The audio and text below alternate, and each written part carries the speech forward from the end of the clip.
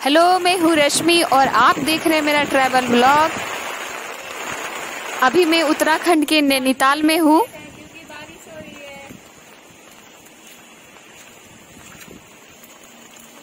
यहाँ पे लास्ट 24 घंटे से ज़बरदस्त बारिश हो रही है।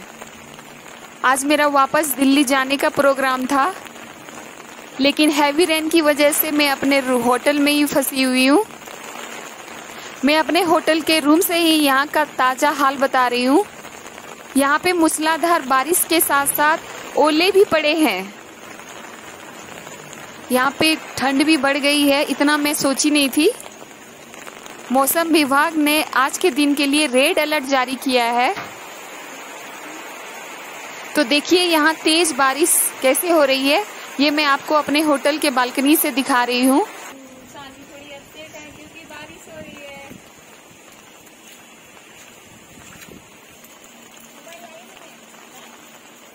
आज 18 अक्टूबर है बट मौसम देख के ऐसा लग रहा है कि ये दिसंबर का मंथ हो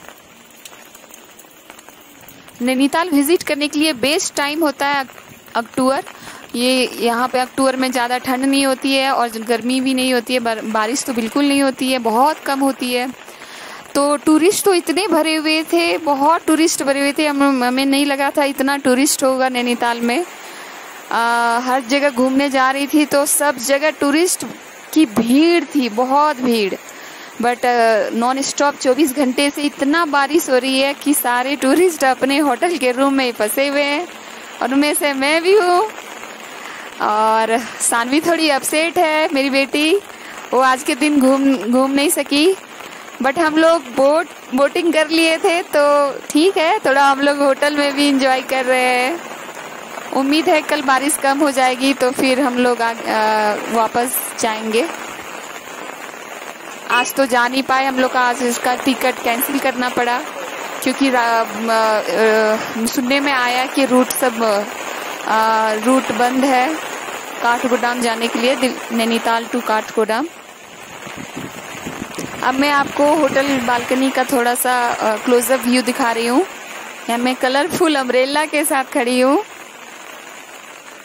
वीडियो देखने के लिए आपका धन्यवाद। और अगर आपको और भी वीडियो देखना है तो मेरे चैनल को सब्सक्राइब करें। और अगर वीडियो अच्छा लगे तो लाइक करें।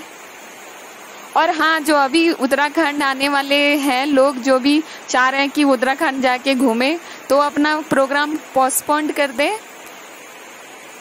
और एक दो दिन के बाद ही उत्तराखंड आए, क्योंकि अभी माउंटेन एरियाज़ में सारे सारे हिल स्टेशन में बहुत बारिश हो रही है।